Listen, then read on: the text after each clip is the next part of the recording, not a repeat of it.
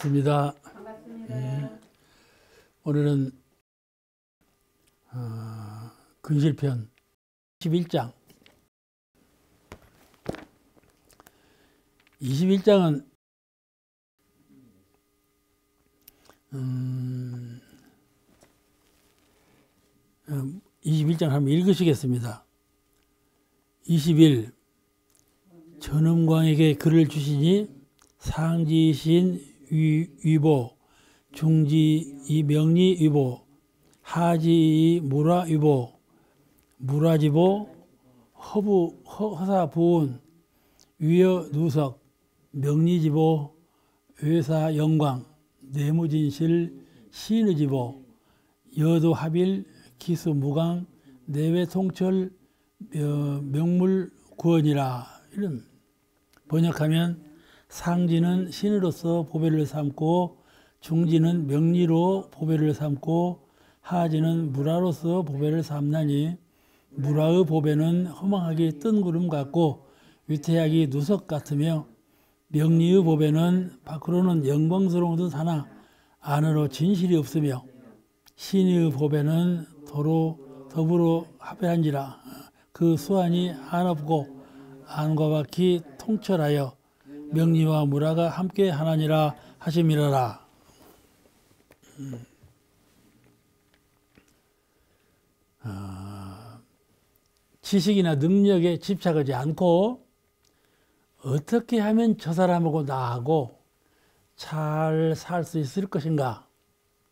어떻게 하면 성불할 수 있겠는가? 그거예요. 그 신이에요. 쉬운 말로 말하자면 저 사람하고 나하고 관계, 관계를 어떻게 하면 더 좋은 관계로 유지할 수 있겠는가? 저 사람하고 나하고 무엇인가 합해가지고 좋은 결과를 이룰 수 있겠는가? 거기에 마음을 두는 것을 신이라고 그래요. 신이. 이게 사람과 사람의 관계성이에요. 알겠죠? 이 신이가 있어야 사람과 사람이 합해져요. 뜻이 합해지고 힘이 합해지고 합일이 되는 거예요. 신이가 없으면 서로 시끌려 버려, 헷갈려 버려요. 나누어져. 신의가 있어야 이 사람하고 이 사람하고 합일이 되는 거예요. 아시겠죠? 사람과 사람 관계 원리에서 관계를 가장 좋게 하려면 첫째가 시인이라. 그러니까 시인을 주장하는 것이에요. 사람이 일을 하려면 사람하고 합해서 일을 해야지 혼자 일을 못 하는 거거든요. 또 진리와 나, 진리와 나의 관계에서 신의가 있어야 진리와 나가 하나가 돼요. 신의가 없으면은 나와 진리가 하나가 되었다, 둘이 되었다 이래요. 아시겠죠? 옥타원님 어쩌냐는 거. 그래. 신의가 있어야, 가령 내 목전에 이런상 부처님이 항상 계시는데, 그걸 잊어버리고 망실해버리고 다 놓아버리고 마음대로 살다가 나중에 깨달으면 아유 큰일 났네 챙기고 또 챙겨다 놓쳐버리고 이렇게 하지 아니하고 줄기차게 항상 여유롭게 항상 여유롭게 법신불 이론상 광명하신 그런 이론상을 섬기고 모시고 사는 그 마음을 여유롭게 갖는 마음 여유롭게 갖는 마음 이 섬기는 마음을 여유롭게 가짐으로써 신의를 지킨다 그래요. 그래야 그분이 도통을 해요. 통명을 얻어요. 신의가 있어야. 왜냐하면 도, 도력이라는 것은 정성이에요. 끊임없이 작은 힘이지만 작은 발금이지만은 끊임없이 지속할 때 차차차 익어가는 거예요. 그래서 도력을 얻는 거예요. 도력은 하루아침에 이루어지지 않아요. 반드시 작은 것이 커져서 도력이 되거든요. 그런데 이 정성으로 섬기는 마음, 정성으로 섬기는 마음, 이, 이 정성심 속에서 도력이 익어가는 건데 이걸 신이라고 그래요. 신의를 잊지 말아야 한다. 모시, 섬기고 모시다가 안, 안 모셔버려, 잊어버리고.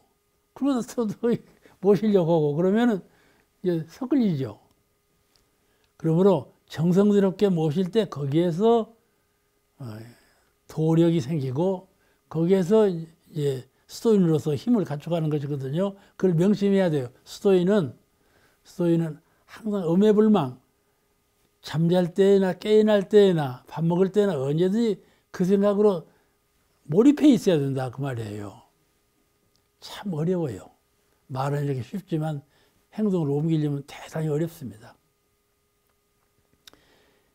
그러니까 이 어떻게 하면 내가 잘 살 수 있겠는가 하고 걱정하는 사람은 늘 인간과 인간과의 관계성, 그 시인이를 가장 잘 생각해야 되고 내가 어떻게 하면 성불할 수 있겠는가 이거를 잘 연방하는 사람은 어떻게 하면 진리와 내가 항상 하나인 자리에서 있을 수 있겠는가 이건 신이라 그 말씀이죠.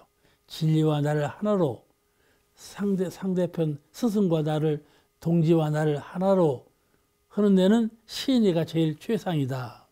그러므로 지혜 있는 사람은 지혜 있는 사람은 시인이를 가장 보배로 안다 그런 뜻이에요. 그죠?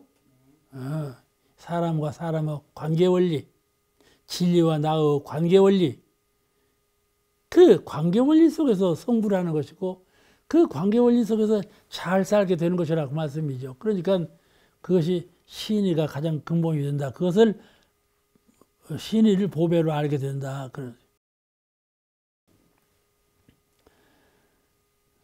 그래서 세상에 주요한 것이 많고 보배로운 것이 많지만은 인간관계처럼 중요한 것이 없고 신이처럼 보배로울 것이 없다.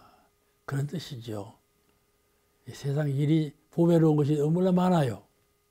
명예도 보배롭고, 이 재물도 보배롭고, 다 보배로운 것이 너무나 많죠. 너무나 많아요. 그런데 말이죠. 가만히 생각해 보세요. 우리 마음에 그런 물건들을 보관할 수 있나요? 못 볼. 옥사님 고개를 살랑살랑. 마음은 허랑해서 텅 비어서 그걸 갖다 둘 자리가 없어. 아무리 보배로운 것도 갖다 내 마음에다 둘 자리가 없어. 그저 수행자는 마음에 그런 걸 두지 않아. 아무것도 두는 것이 없어, 마음에. 그렇죠? 둘 자리가 없으니까 두지 않는 거예요. 그런 그런 자리인데 그런 자리인데 사람이 두려고 하면 두어지는가 말이죠. 다 손으로 꽉 잠자게 잡히지가 다 새어 도망가 버리지. 다 허망하게 허망하게 사라지는 것들이다. 명리라 하는 것하고 재물이라 하는 것하고 이렇게 사람들이 욕심을 내서 잡으려고 하는 것들은 일시적인 것이고 형상적인 것이고 곧 사라지는 것다. 근데 시인이는 그러지 아니하다.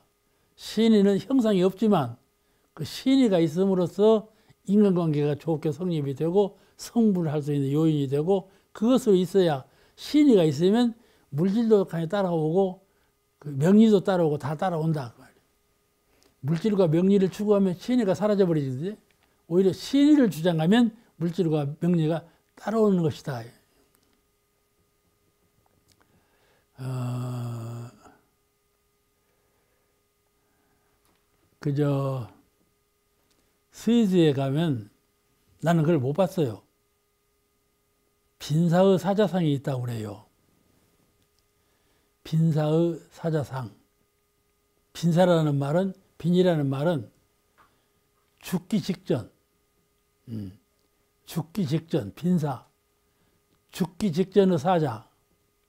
그를 큰 돌에다가 딱 사겨놨어요. 도, 돌 사자의 모습을 조각으로 해서 큰 돌 속에다가 조각을 해 놨어요. 그 빈자의 사자상이라는 것인데, 빈사의 사자상이라는 것인데, 죽기 전의 사자라 그런 말이에요. 이 조각상이 가장 감동적인 조각상이다 이렇게 평가를 해요. 음. 근데 왜 그 조각상을 갖다 했는 거지? 스위스 사람들은요, 스위스는 유럽 중앙에 있지 않아요? 조그마한 나라인데 유럽 중앙에 있어요. 저도 그 나라를 한번 삥 둘러봤어요. 봤더니 산악이에요. 음, 알프스 산악이요. 산악으로 꽉 졸인 산, 조그마한 나라예요. 그 산악으로 쌓여있는 조그마한 나라니까 가난하겠어요? 부유하겠어요? 매우 가난한 거예요. 유럽 유럽 중에서 제일 가난한 나라가 스위스예요. 이게 먹고 살 것이 없으니까 늘 누구 앞에 가서 굽실굽실해야 먹고 살아. 근데 스위스 사람이 신의를 제일 잘 지켜. 신의를. 어. 그래서 불란서 왕궁에서 왕궁에서 스위스 사람을 데려다가 왕궁가를 지키는 보초병을 시켜놔. 그러면 틀림없어. 잘 지켜. 그런데 그 이제 혁명이 일어났다 말씀이죠. 혁명이 일어나니까 왕궁 왕궁 왕정치 왕정치를 이제 반대하고 혁명이 일어나니까 이, 이 스위스 이, 이 왕을 호위하는 스위스 용병은 왕을 호위할 거 해야 할 거아니요. 이제 민간에서 봉기하는 사람들하고 적이 되었단 말이죠. 이제 죽게 돼 있어. 이제 봉기대가 이기고 왕정이 무너지는 판이에요. 죽기 전에 이제 죽기 전에 됐어.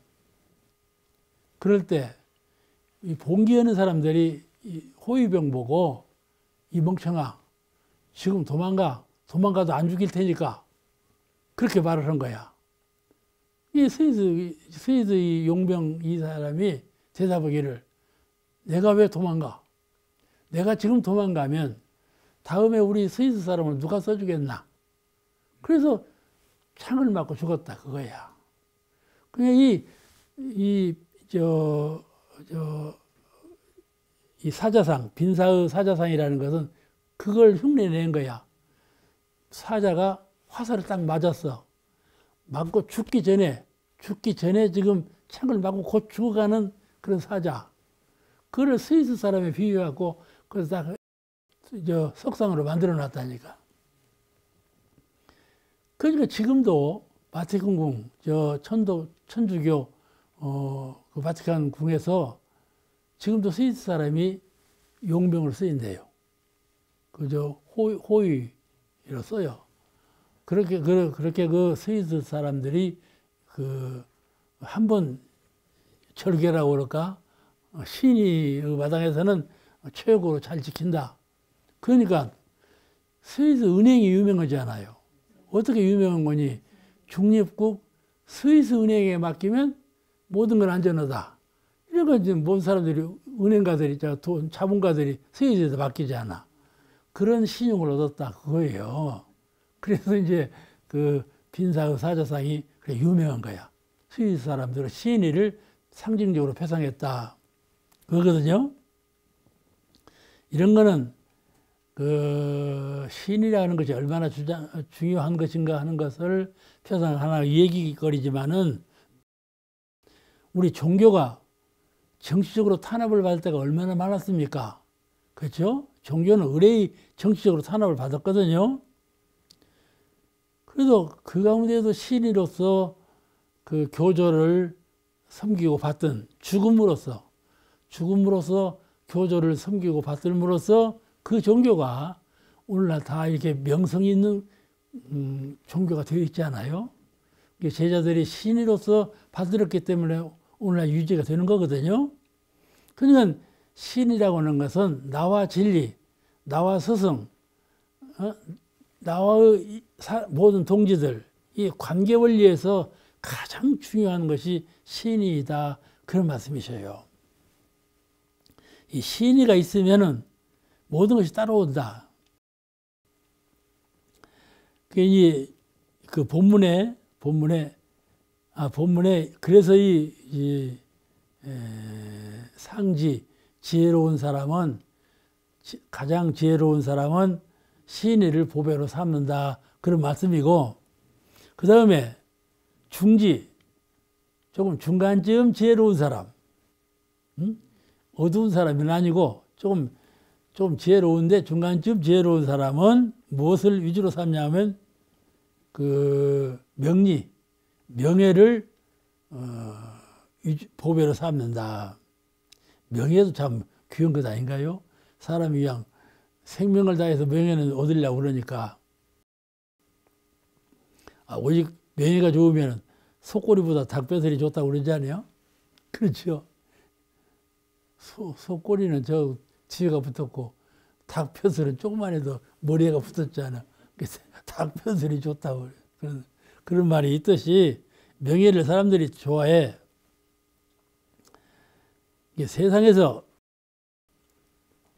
서민층한테 물어봐. 세상을 살 때 무엇이 제일 어렵더냐? 서민층한테 물어보면 무엇이 제일 어려운 거? 그걸 물어보면 도모르기가 어렵다 그래요. 도모르기가 제일 어렵다. 음. 요새 저 코로나 19 때문에 이제 사람 사이가 서로 이제 그래가지고 시장에 사람도 안 가고 거리에 사람이 비어지않아 죽을 사람은 누구요? 하루 벌어서 하루 먹는 사람이 죽을 사람이야. 어. 그렇게 되니까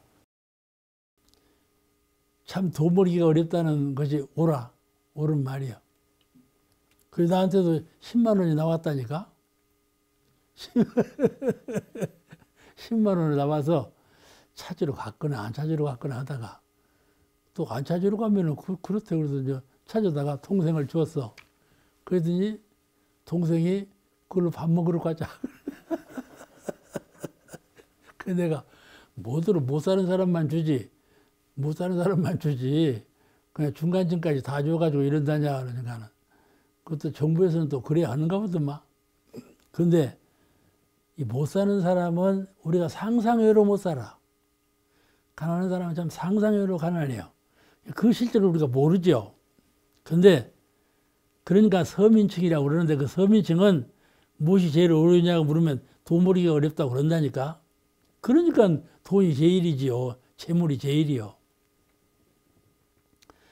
그런데 중산층은요, 먹을 많은 사람들은 무엇이 제일 어려운가 하고 물으면 CEO, 회장 되기가 어렵다. 그렇게 말을 하거든요. 명예, 명예 얻기가 어렵다. 요새 저 당정치 하는 것 좀 봐봐. 아이고, 그냥 굉장히 싸움이 일어나더만. 음. 명예 얻기가 얻기가 어려워. 근데 명예는요, 권력이 따르고 권력에는 돈이 따르기 때문에 그래서 사람들이 명예를 좋아해요. 근데 오는 세상은 매우 평등한 세상이고 문화시대이고 그래서 감투와 명예를 그렇게 좋아하지 않아. 부진극을수록 명예를 더 좋아해. 그런데 본문에 이렇게 말씀하셔서 그래서 하지 하지 가장 어리석은 사람은 중간쯤 어리석은 사람은 명리를 좋아하고 가장 어리석은 사람은 물화, 예, 재물을 좋아한다. 어, 재물을 좋아한다. 어떤 분이요? 여러분 유튜브 해, 보셨나요? 내가 유튜브를 보고 크게 속았다니까? 어느 분이, 어, 어느 분이 이 카톡을 통해서 유튜브 소식을 나한테 전해왔어. 근데 김정은이가 죽었다. 이렇게 되었어. 나 그냥 깔빡 속았네. 아유, 죽었구나. 그랬는데, 어, 뉴스에 안 나와. 왜 안 나온다냐, 그게. 한 일주일 후에 나 나올 거라고. 비밀이, 비밀이 있는 나라야. 그런다고 그래서. 또 그 말에도 속았어. 나중에 보니까 가짜 뉴스예요, 그것이. 그러듯이. 그런 유튜브를 통해서 누가 나훈아가 이런 노래를 불렀으니 한번 보세요. 또 보내왔어. 아, 그, 그, 그리고 보내왔어. 근데 그 나훈아가 노래를 어떻게 부르는가 뭐 이제 열어보니까 나훈아가 가사도 짓고 작곡을 했다고 그래놨어. 그냥 가야금 타는 사람이 그냥 수십 명이 섰고 악단이 그냥 수십 명이 있고 어떻게 벙청하게 해놓고 노래를 부르는가 몰라. 사람들이 수만 명이 앉은 것 같아요. 저 끝이 안 보여. 너무 많아 많이 앉아서. 그 저렇게 많은 사람을 앉혀놓고 감동적인 노래를 불렀다니 무슨 노래를 부르니까 하고 보니까 뭐라고 하는 거니? 살다 보면 알게 돼. 누가 일러주지 않아도 그러더라니까. 음. 이게 살다 보니 알게 돼. 됐죠. 돈이 필요하다는 걸 알고 명리가 필요하다는 걸 알고 그런데 잘 살다 보면 알게 되는 것이 신의가 필요하다 그예요. 사업가도 그렇게 말하고 누구도 다 신의가 제일 필요한 것이다 그렇게 말을 해. 결국은 살다 보면 알게 돼. 그 말이 꼭 맞은 말이요. 그 제목이 공이더라니까 빌공자. 불교에서 따갔어. 그렇죠. 그래서 옛날에는 3등 열차가 있었어요. 우리 어렸을 때만 해도 3등 열차. 3등 열차는 어떻게 되는 거냐? 창고예요, 창고. 이게 창고문을 열고 그 위에 타는 거야. 그리고 이제 가, 라고 출발할 때는 꽝꽝 하고 출발하고 멈출 때도 꽝꽝 하고 멈추고 이하단으로 가는 열차가 3등 열차인데 그때는요, 3등 인생이라고 그랬어요. 우리는 그때 3등 인생으로 살았어요. 3등이로 살았어. 근데 군산서 이리가, 이리하고 군산을 왔다 갔다 하는 3등 열차가 있어. 그 차는 천하 못 타. 비린내가 어떻게 많이 나는지. 그, 그 어물을 갖다 파는 사람들이 막 어물을 막 창고처럼 정해놓고 술, 담배 피우고 막 가고 그러거든. 그런 차가 3등 열차였어요. 그런데 이 3등 인생, 이 따로 구별된 인생은 지금 없지 않아요. 그냥 차차차 고등 인생으로 지금 가는 거야. 이게 차차 상위, 상지자, 상위급으로 가게 되면 시대는 많이 바뀌죠. 옛날에 그런 생각하던 것은 지금 생각할 수도 없잖아요. 막 큰 변화를 이렇게 하고 그러는데 사람은 살림살이도 달라지지만은 지혜, 생각하는 지혜가 달라져요. 아시겠죠? 옛날에 생각하던 그런 생각으로는 살지 않아요. 탁 버리고 다음 더 밝은 지혜, 다음 더 밝은 지혜 이렇게 가는데 문명 따라서 가는 거거든요. 그러니까 고등사회로 가면 갈수록 재물과 명리는 추정하지 아니하고 신이 무엇을 제일 중요한가? 진리와 나 사이의 신이 스승과 나 사이의 신이 인간과 모든 사람과 나 사이의 신이 이게 제일 중요하다. 신이 가운데에도요 이렇게 진리와 나 사이라고 하면 너무 어려워요. 근데 이 물건들 초목과 나 사이, 민물과 나 사이 그 사이에도 다 신의가 있어야 돼요. 지금 코로나로 인생이 다 죽겠다고 그러지 않아요? 인간 전체가 다 죽을 수도 있다. 바이러스 때문에. 그렇게 운명을 말하는 사람도 있거든요. 그 이유는 뭡니까? 전부 내리내리 잡아먹기 때문에 그래요. 그러니까 그놈들이 반항한 거야, 반항한 거야. 이제 우리 사은 사상이, 사은사상이 널리 퍼져서, 퍼져서 모든 인간과 인간과의 사이, 사이, 짐승과 인간과의 사이, 초목과 인간과의 사이, 무정물과 인간과의 사이, 그 관계 원리, 관계 원리가 은혜로 바뀔 때, 그때는 이제 바이러스 걱정이 없는 세상이 될 거예요. 그래서 그것을 신의 세상이라 그래요. 신의 세상이라. 신의가 가장 중요한 것이요. 옛날 한 시골 마을에 노 부부가 살았더래요. 아주 노 부부인데 아들이 있다가 일찍 죽었어. 이제 며느리가 혼자 살아. 그게 노 부부하고 며느리하고 세 식구가 살았더래. 옛날 얘기요.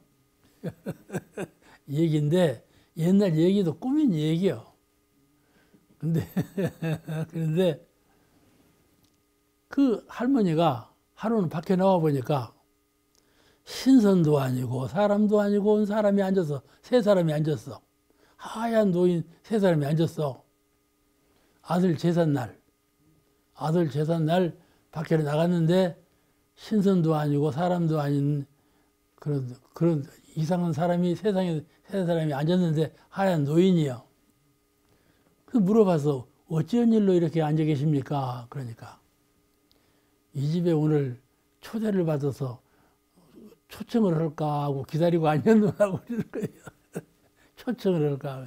초청을 받아서 이제 제삿날이니까 좀 얻어먹으러 왔다 그 말이요. 그러니까 할머니가 그러면서 그러면 누구를 초청하니까 그러니까 이 사람은 이름이 재물이라는 사람이요. 아시겠죠? 또 이 사람은 저 어, 이름이 이름이 명리라는 사람이야. 이렇게 딱딱 구별이 돼 있어. 그리고 한 사람은 나는 사랑이라는 사람이다.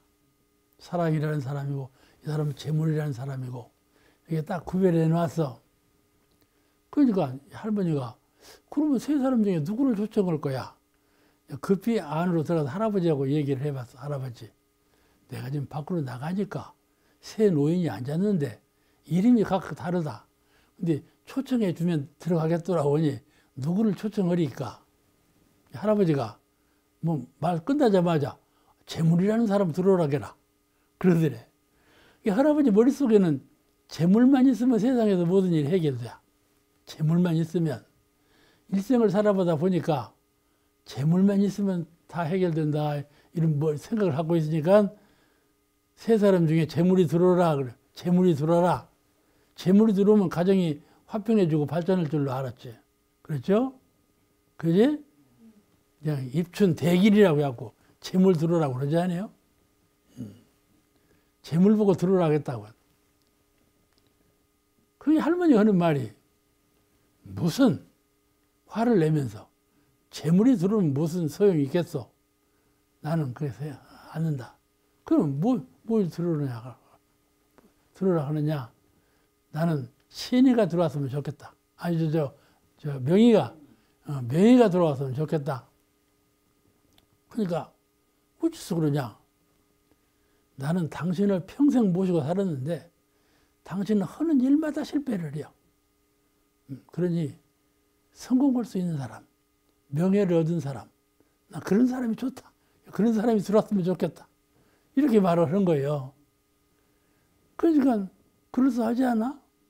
이제 그런데 며느리가 듣고 있다가 안 됩니다. 며느리는 뭐라 그러는 거니? 사랑이라는 분이 들어왔으면 좋겠다. 그 남편이 일찍 죽어버려갖고 사랑이 결핍되었어. 이제 사랑이라는 사람이 들어왔으면 좋겠다. 그렇게 삼자가 새로 말을 했어. 그때 할아버지가 생각해보니까, 아, 그렇다. 나도 늙으니까 제일 없어져 버린 것이 사랑이에요. 당신한테 제일 없는 건 사랑이에요. 그러니까 아 며느리 말 맞다. 사랑이 왔으면 쓰겠다. 재물보다도 그 마음으로 바뀌었어. 아 그 할머니도 가만히 생각해보니까 평생을 두고 할아, 할아버지를 원망을 해서 하는 일마다 실패하고 명예가 땅에 떨어지고 살았으니까 그 명예가 좀 들어왔으면 쓰겠다. 근데 생각해보니까 당신도 사랑이라는 것이 없어. 일생 살고 나니까 사랑이라는 것이 핍박해져 버렸어. 그래서 아이고 며느리 말이 맞다. 그냥 삼자가 합의를 해갖고 사랑이라는 사람을 들어오기로 합의를 봐서 할머니가 나갔어. 나가서 세 사람 중에 사랑이라는 분 들어오시오. 그러니까 사랑이라는 사람 혼자만 들어야 할 것 아니요. 그럼 세 사람이 같이 들어오는 거야. 어쩐 일로 세 사람이 같이 들어오느냐. 그러니까 사랑이라는 사람이 들어가면 세 사람은 같이, 같이 들어가게 되어 있다고. 그러면서 같이 들어. 그러더라는 거예요. 이 얘기가 오늘 시인이하고 뜻이 통하는 말이요. 시인이가 있으면 할아버지 중에 시인이라는 사람이 있었으면 그 이제 시인이가 들어오면 어, 명예와 명예와 그 어, 재물이 같이 들어온다 그 말이에요. 오늘 말씀은 그 말씀이에요. 시인이가 있으면 명예와 재물은 따라 들어온다. 이 말씀을 잘 소중하게 생각해야 돼요. 우리가 가정에서 부부간에 살고 부자간에 살고 이웃과 살고 사람과 살고 초목과 같이 사는데 그 사이에 항상 어떻게 하면 신의를 더 지키고 시, 은혜로운 신의로서 살고 살겠는가 하는 것을 머릿속에 연마하고 살면 그 가운데 명예와 재물이 다 따라온다 그런 뜻이거든요. 신의가 가장 중요한 것이다 그런 내용의 말씀이세요. 이렇게 신의만 있으면 재물과 명예가 따라오는 것이기 때문에 진행사조의 첫 조가 뭐예요? 신, 신부무성이에요. 신앙, 신앙심이지만 신앙심은 신이하고 사촌가지예요. 신이와 같은 것이죠. 그래 진행사조의 첫째 조항이 신인 것이요. 일체는 마음에서 이루어지기 때문에 근데 마음은 마, 일체가 마음에서 이루어진다는 다 아시죠? 일체 유심조 한 생각 한 생각에 의해서 되어지는 것들인데 마음의 그 한 생각은 만물과 관계성 내 아, 형상 없는 속에서 일어나는 한 생각이 내 박혀 있는 만물과 관계를 신의로 관계를 이루느냐 불신으로 관계를 이루느냐에 따라서 모든 것이 성공되느냐 실패하느냐 관계 거기 있다 하는 것이죠. 신의를 지키는 일이 참 어렵습니다. 자기가 인격체가 아니면 신의를 지키기가 어렵고 항상 마음 가운데 은혜를 심고자 하는 정신이 없으면 이 신의를 지키기가 어렵고 원만구족 지공무사 무엇이든지 공정하게 행하리라 하는 의식을 깨어, 깨어난 의식이 없으면 시인을 지키기가 어려워요. 그러니까 시인은 말로는 간다는 것이지만은 매우 우리 관계 원리에서 지키기가 어려운 윤리 도덕이다. 그렇게 생각하시면 됩니다. 그 다음에 22장.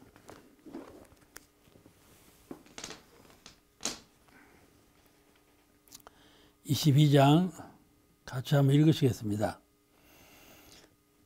22 산동교당에서 이런 첩에 쓰시기를 요제 임천이라 하시고 장마지고 개는 것은 하늘에 맡겼노라 하시더니 그 후 남원 교당에 오시어 말이 갖추어지지 못하였다 하시고 가색 유인 네 글자를 더하여야 산 법구가 되리라 하시고 심고 가꾸는 일은 사람에게 달렸다 하시니라.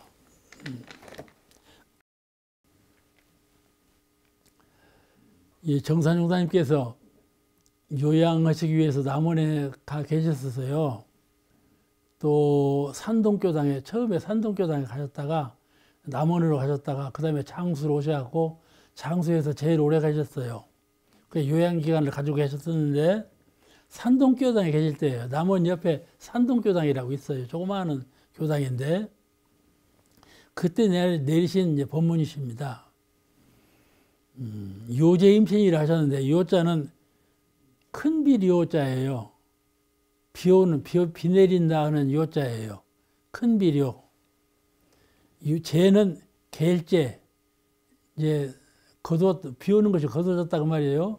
개다 갤제 비, 비 내리고 비 개는 것은 그 말이요. 아시겠죠? 비 내리고 비 개는 것은 천지가 알아서 한다. 하늘의 뜻에 맡겨둔다. 그 말. 요제 임천. 하늘에 맡긴다. 아시겠죠? 이 천지는 풀으로, 풍운으로 상설.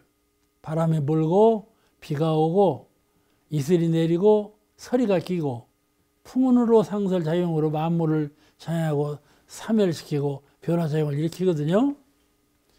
이게 사람이 천지만 그러는 것이 아니고 신통력을 얻으면 할 수 있을까요? 할 수 없을까요?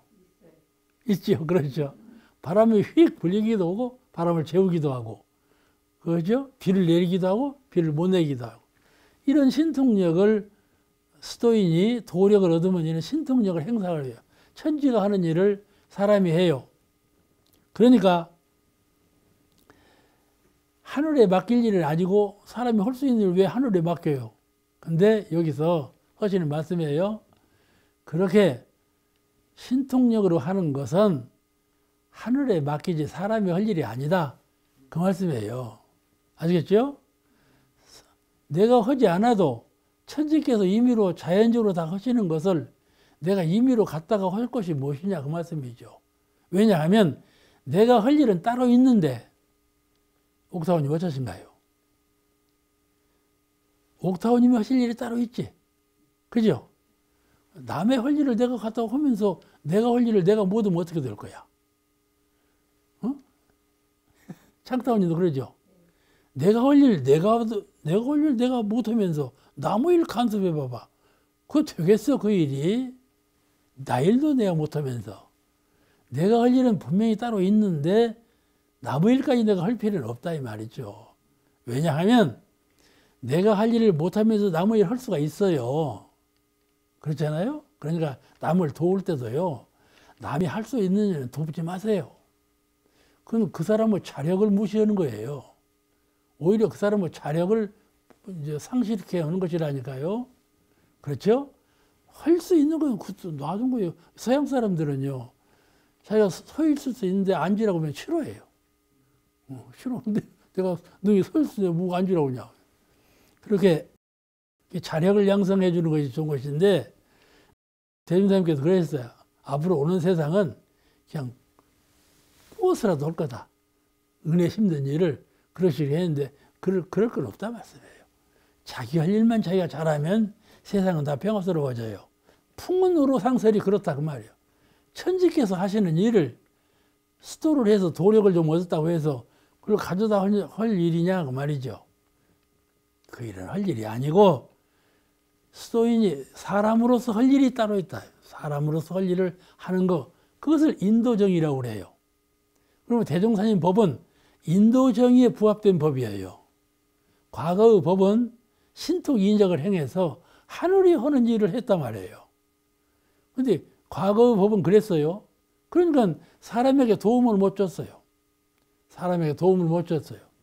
그런데 앞으로 오는 법은 인도정의에 맞음으로써 사람마다 누구나 어느 계층에 있든지 도움을 입을 수 있는 그런 도덕이라 해야 된다.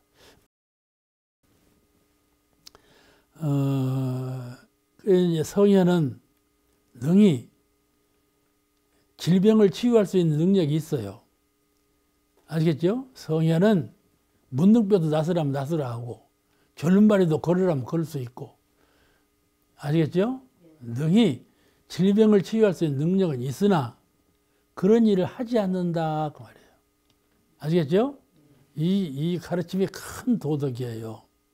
왜냐하면 왜냐하면 사람은 사람으로서 해야 될 일, 당연히 해야 될 일이 있는데 그런 일을 하다 보면은 사람이 할 일을 하지 않고 그런 일만 하게 된다 이 말이죠.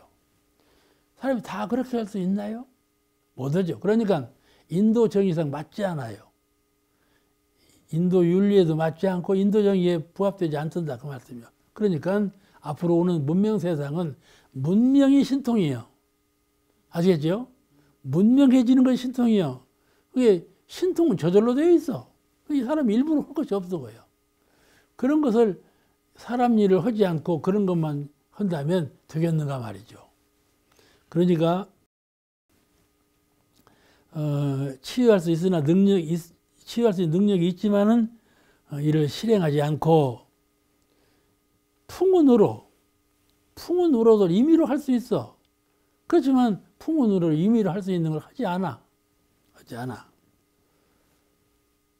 그 오는 세상의 수행자는 그렇다 그 말씀이에요.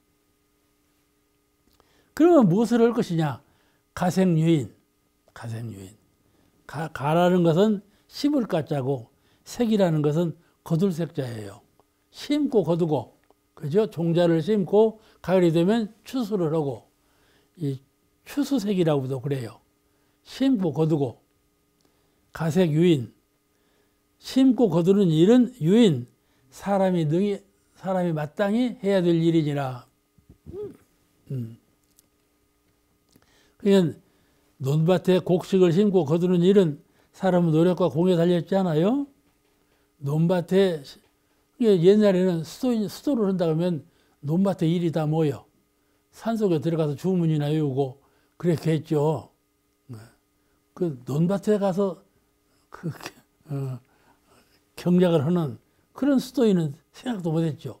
그러면 그냥 농부지. 그런 사람은 농부고 수도인은 산에 들어가서 수도를 해야 된다 이렇게 생각을 했는데 그러지 아니하고 가생유인 심을 일을 심고 거두는 일은 거두는 이런 사람이 돼야 한다 그 말씀이죠. 그 풍운으로 상설이나 어? 이저 질병을 나서고 하는 일들은 하는 일들은 신통이적으로 하는 일들은 하늘에 맡겨버리고 맡겨버리고 가생유인을 하라 그 말씀입니다.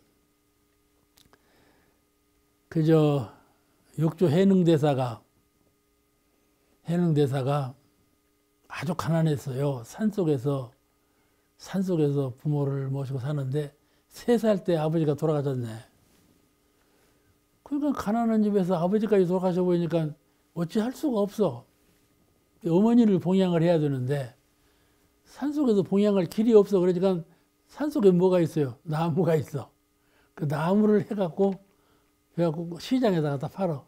그리고 이제 거기서 소득을 내갖고 어머니를 봉양하고 살았는데 24살까지 이렇게 살았어. 24살까지 장가를 안 가고 장가를 안 가고 이제 어머니를 봉양하고 살았어요. 이제 지금으로 말하자면 다 늙었지. 24살까지 살았으니. 그런데 하루는 나무를 해서 팔고 돌아오는 길에 여관 앞에서 한 보살이 금강경을 외우는 거야. 그 금강경 외우는 소리 들어보니까 의무소주 이생기심이라는 말을 하거든. 그 말이 귀에 들리자마자 딱 깨달아 버렸어. 그 육조는 아주 상근 중에 상근이야. 그 전생에 전생에 그 말로 깨달으신 분이라. 그러니까 그 말이 들리자마자 깨닫지. 그렇죠? 그 이제 득도를 이미 해버렸어. 해버리고 나서 아 내가 이렇게 올 것이 있어야 아니라. 스승을 만나서 제도 사업, 도를 이루고 도를 전하는 성불제 중 큰 사업을 해야 되겠구나. 마음으로 아주 새기고 어디로 가면 되냐 하니까 오대산 저 황매산 아 황매산 오조 스님한테 가라고 그러 이제 그 말을 듣고 황매산으로 오조 홍인대사를 만나러 갔어. 그러니까 어디서 왔냐고 그러니까는 저, 저 북쪽에서 왔다고 그랬거든. 북쪽에 사는 사람은 오랑캐인데 오랑캐인데 무슨 돌을 얻으러 왔느냐. 꾸중을 했어. 왜 꾸중을 했는 거니? 꾸중을 안 하면 옆에 사람이 시기를 해.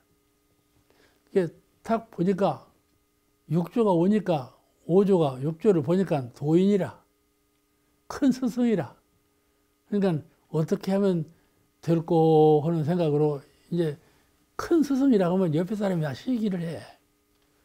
그런 일이 없도록 하기 위해서 한 거예요.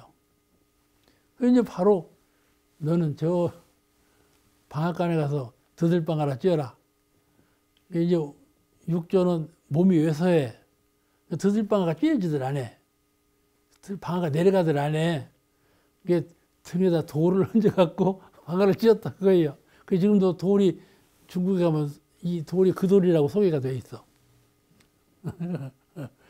관광 요새는요 관광이라고 하면 굉장해요. 큰 보물로 알아요. 하고 자랑을 하고 그러거든. 그 돌이라고 보물 소개가 돼 있어. 그 이제 해능대사가 바가를 찍고 있는데 6개월 만에 얼마 1년도 안 지나가서 6개월 만에 하루는 오조 홍인대사가 심야에 찾아왔어.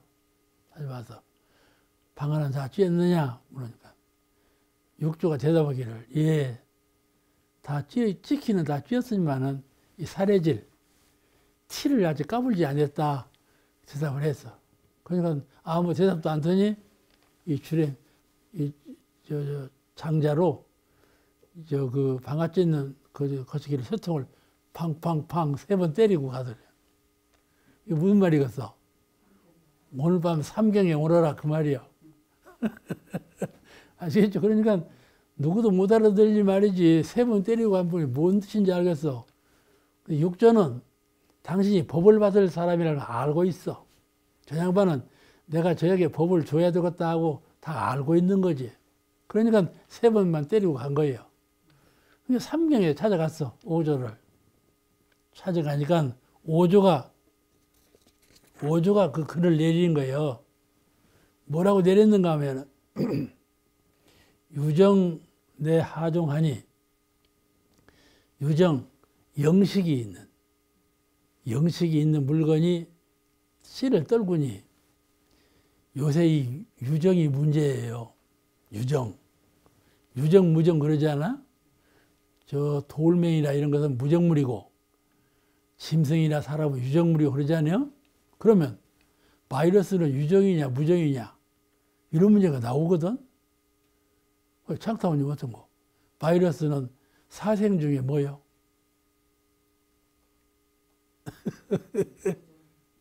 어? 아니 테란 스파 사생 중에 어, 바이러스는 얼른 생각이 안 가지. 어, 그 맞아. 화생이야, 화생. 화생이야. 습생이라는 것은 음식물을 먹고 썩는다든지 습한 자리, 저 호수에 가도 습지가 있어. 습지에서 자동적으로 생겨나는 것들이에요. 가만 둬도 습해지면 종자가 없어서 생겨나네 이것들이야. 그런 것들이 습생이라고 그래요. 화생은 이것으로 있다 저것으로 변하고 변해서 나오는 것들이에요. 그걸 화생이라고 그러는데 바이러스는요 화생에 속하는 것이에요. 나도 처음에는 습생인가 그러다가 가만히 해보니까 화생인 것 같아. 화생. 그런데 이거는 세포가 아니라고 그러거든. 핵이 없고 껍질이 없어 이것들은. 세포는 껍질이 있잖아. 또 중심에 핵이 있고. 근데 이 바이러스 이거는 그것이 없어. 그냥 단백질 영양소로만 되어 있어. 그러니 이걸 생명체라고 봐야 돼. 뭘로 봐야 돼?